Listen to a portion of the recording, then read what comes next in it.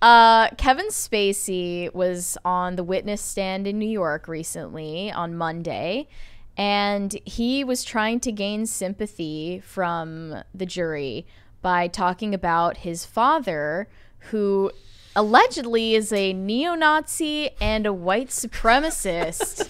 It feels like he just picked. He's like, what's what's hot right now? What's gonna get me the most sympathy? So I I really don't understand why he was getting into this amount of personal information on the stand when it really is only tangentially related to the case. This is because Anthony Rapp, the person who accused him of sexual battery, uh, claimed that he was a fraud for not coming out as gay and then only coming out as gay when these accusations were public. That was what I was going to know point out. I said, let's be fair. This is the guy who, when accused of like R wording a bunch of children, said, hey, I'm gay. There's another case that he's going to be on trial for in the UK in 2023. Um, that I think was an adult though. Yeah. We we read about that in the. UK, yep. Um, so he responding generally to the claim that he was a fraud or living a lie for not coming out had to defend himself and brought up all of this personal family history. He said, "My father was a white supremacist and a neo-Nazi. I've never talked about these things publicly ever. I grew up in a very complicated family dynamic." He said that in his family, he uh, they were subjected to a bunch of racist rants uh, from his father. He would constantly go on diatribes about uh, his his racial vitriol, and they couldn't invite people over because of that. Because he was afraid that they were gonna. He was gonna. His dad's gonna say a bunch of weird stuff around the kids. He, he said that um, he couldn't come out as gay because his father would yell at him even at the idea that he was gay because he was into theater. He said, uh, "Don't be an f word." Quote from Kevin Spacey. I won't say it here because it's derogatory. I certainly had a degree of shame. So that's his excuse for uh, coming out as gay in his response to Anthony Rapp's accusations. yeah. Um, this accusation, by the way, I don't think there's a way you can get out of this when you're admitting that the context is true. Yeah. The context is that he was hanging out with another adult man and a 14 year old boy Yep. as like a trio of like friends. No one is friends with a 14 year old boy at age 26. I'd like to point That's out that weird. that, uh, that was John Barrowman that they're talking about. John Yes. Barrowman, who plays Captain Jack Harkness on Torchwood, and last year or two years ago, got in trouble for like pulling his uh, his dick out on. Sorry, I said it. Pulled said it out. it. He said it, Pulled it out like on set, and then it was like I was just trying to like lighten the mood, and then everyone's like, Great minds think alike. and then and then, the, and then it just disappeared. That the story just disappeared. Everyone's like, oh well, you know, stuff happens. no Like, wonder Spacey and Barrowman got along so well. Yes. Uh, very, very. Uh, Spacey claims that he was interested in Barrowman at the time. They all three of them were on Broadway shows at the time.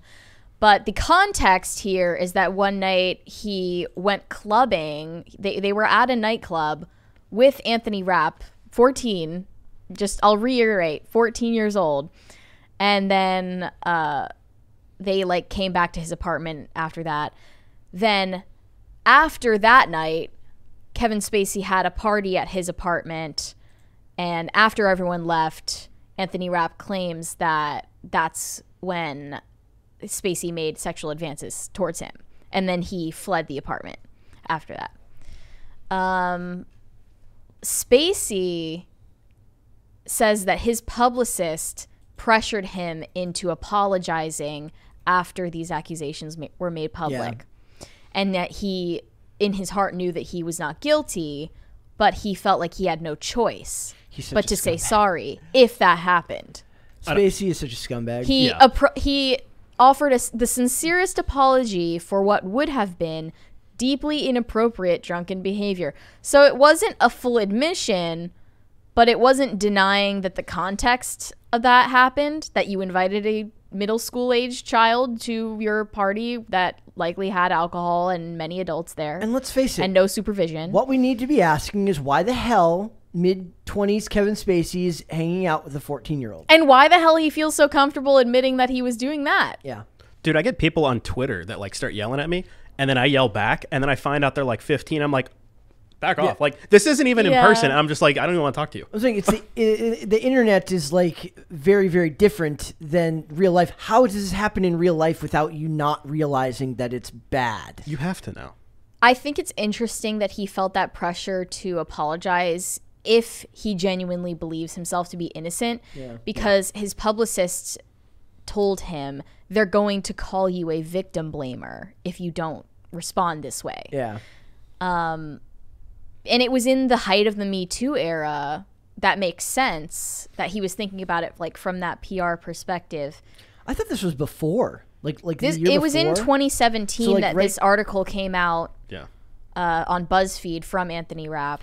So that would have been right at the start of Me Too. At the I, I don't. the It depends on when in 2017 it happened. Late Yeah. 2017 was definitely the peak. and then let's not forget the creepy Christmas video thing where he's in front of the fireplace. Yeah. Right? Where he's Oh, like, God, yeah. Where he gives like a life update, and it's like the creepiest. Like it's like half, like half serial killer, half House of Cards character.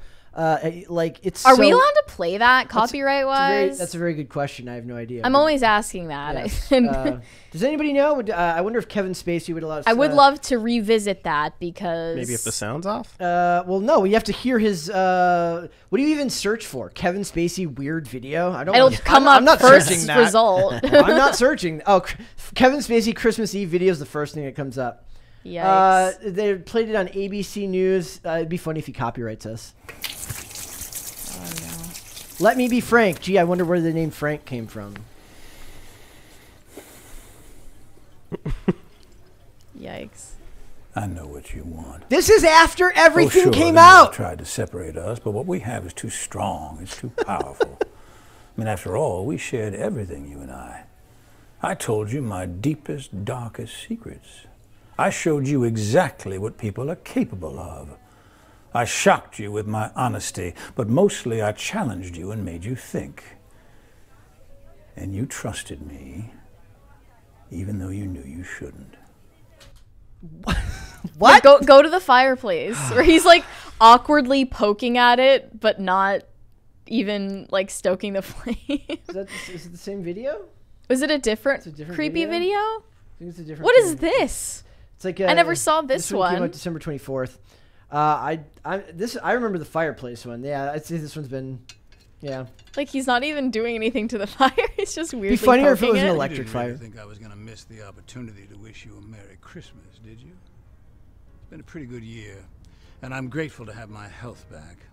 And in light of that, I've made some changes in my life, and I'd like to invite you to join me. As we walk into 2020, I want to cast my vote for more good in this world. Ah, yes. I know what you're thinking. Can he be serious? I'm dead serious. And it's not that hard, trust me. The next time someone does something you don't like, you can go on the attack, but you can also hold your fire and do the unexpected. You can kill them with kindness. This is after one of his accusers. I think maybe two. I think it's like three or four. Like multiple people. multiple have died. accusers of Kevin Spacey have died in mysterious circumstances I didn't know that. before, He's a real life villain. like not natural causes. no, he's like like he's like A, What? yeah, he's like a real life villain. And then he posts this video. Yeah. Yeah. By the way, those were a year apart. The one was December twenty fourth, twenty eighteen. The other one, the the fireplace one, was December twenty fourth, twenty nineteen. He is dead serious. So uh, it says a lawyer for Spacey who has denied the allegation as well as uh, as other sexual misconduct claims, argued for a dismissal of the case, stating that Rapp's legal team has failed to prove his allegation, meaning that they were talking about that he was uh, he's accused of uh, the claim was of intentional infliction of emotional distress. yeah, that Uh, the and that charge of emotional dispre- distress was um, Dismissed. dismissed because it was like redundant, according to the judge. But he's still on trial for sexual battery, and Can they even get him for this? I don't No, 20 this was so long ago. It was in 1986. That's pushing 40 years, man. Yeah, the guy uh, Anthony Rapp is 50 years old now. Oh my god. it's just it's bonkers, and it's, it it's lets you know how difficult evil. to get justice. It's not. There will be no justice. For, Like, what's the? It's a. If it's a. I, if I were Anthony Rapp, I would be afraid for my life. yeah. Like I wonder if he has the enough like security and safeguards in place for himself. Like I'm not like outwardly saying that Kevin Spacey's responsible for the death of some of his accusers, but It's very suspicious. it's it's suspicious and I would be afraid in Anthony Rapp's shoes. uh, out of all the people that are accused of stuff, Kevin Spacey's probably the uh, the scariest out of all of them because he seems to always uh, get his way, no matter what.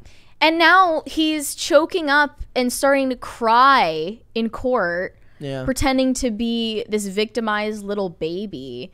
And he is apologizing for his previous apology. He's, he learned the lesson that you shouldn't apologize when you don't believe you did anything wrong. The- That's true, Yeah. but you know what you did. yeah. Well, they have no shame. That's such a heavy thing, though. Like, if somebody accused me of R wording somebody, I'm not apologizing if I didn't do it. Yeah. So the fact that he apologizes just, it's creepy. He apologized for what would have been inappropriate if it happened. Okay, OJ. But it's like Jeez.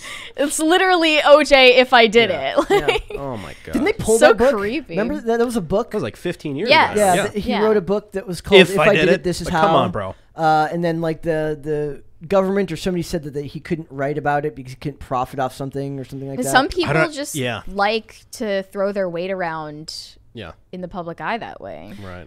so Look what I can get away with. I, I don't think he ends up facing any justice for this. Call me jaded, but I don't think he I don't think he ends up getting in trouble for this. I think he gets away with it. What do you prove? Like, how do you prove it? I mean, he's still got a whole other trial to go through. Th- that one maybe like maybe you could get like what burden of proof would be less If that so person lives. if if such a thing is, exists for this would be like how do you prove it 26 or however many decades later How would you have proven it in 1986 though? you can't It's happened behind closed doors just go with in front no of with no witnesses there.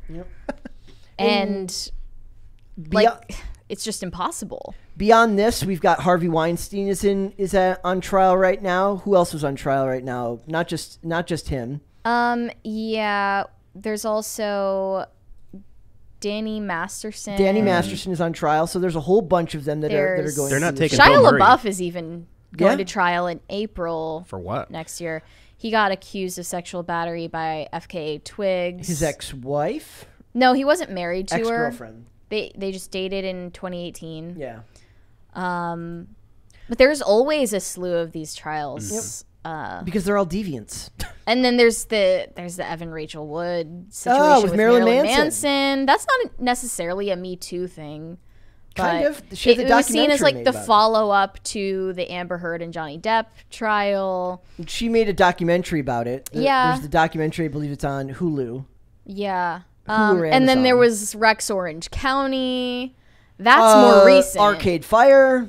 Uh, yeah, the Arcade Fire situation too. It's it's just It's just a never-ending slate of these people because the entertainment industry is uniquely plagued by this. I swear, like the Me Too movement tried to place blame on everyone in society, all of these industries like tech and health and academia. Everyone has these same problems with harassment and misconduct. Believe it or not. but not- it's definitely way worse in Hollywood and they're not willing to admit it. Well, let's face it. Like there is no other industry that I can think of off the top of my head, at least, where a 14 year old and an adult are going to be working together. And that's just considered normal. But they weren't even working together. They were just working in the same industry in the same city and they became quote unquote friends. well, think of uh, all the Disney or, or the Nickelodeon stars who then had to work with adults all their all their lives, and then bad in a way that stuff is unavoidable if you are working on a show that stars a kid. But like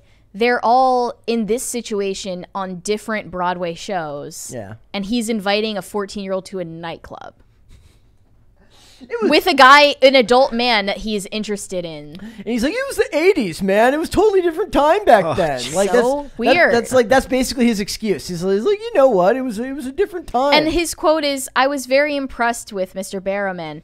He was very handsome and very charming. Anthony Rapp seemed like a kid. John Barrowman seemed like a man.